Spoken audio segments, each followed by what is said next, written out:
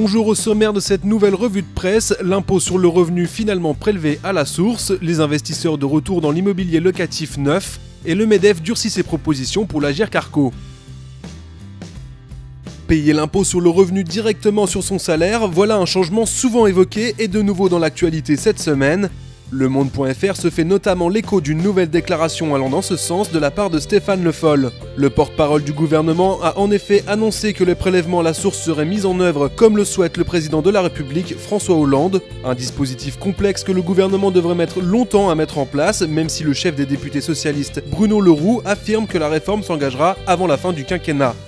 Et l'idée plaît aux Français puisque comme le rapporte bfmbusiness.com, ils sont 62% à être favorables à la mesure selon un sondage Tilder LCI Opinionway. Un plébiscite sans surprise puisqu'ainsi l'impôt serait payé sur les revenus du moment et non sur l'année précédente.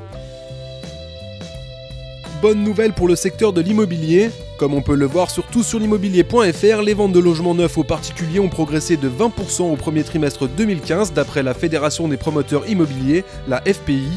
La tendance découle principalement d'un boom de 60% des logements neufs par des investisseurs particuliers, preuve que le dispositif Pinel du nom de la ministre porte ses fruits. Une hausse d'autant plus impressionnante au regard des mises en vente qui ne progressent que de 6,5% comme l'écrit leséchos.fr. Mais pour maintenir la tendance à la reprise, la FPI encourage les promoteurs à acheter suffisamment de terrain, qu'ils soient publics ou privés.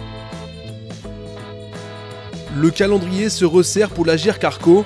Le Huffingtonpost.fr reprend les propositions que va formuler le MEDEF mercredi lors d'une nouvelle journée de négociation entre partenaires sociaux. Pour sortir des difficultés financières, l'Agirc, caisse complémentaire des cadres, et l'ARCO, caisse de tous les salariés, le patronat propose d'instaurer une décote pour les départs à la retraite avant 67 ans. Ainsi, à 62 ans, un abattement de 22% sera appliqué sur la retraite complémentaire du salarié.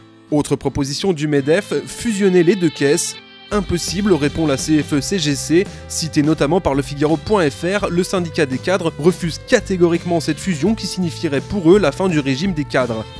La CFE-CGC propose à l'inverse d'augmenter les cotisations patronales et salariales de 1,25 points. Mercredi, chacun défendra ses positions, mais les partenaires sociaux devront trouver une solution pérenne dès la fin du mois de juin pour renflouer les caisses de retraite complémentaires. C'est tout pour cette revue de presse, on se retrouve dans une semaine pour un nouveau tour d'horizon de l'actualité des finances.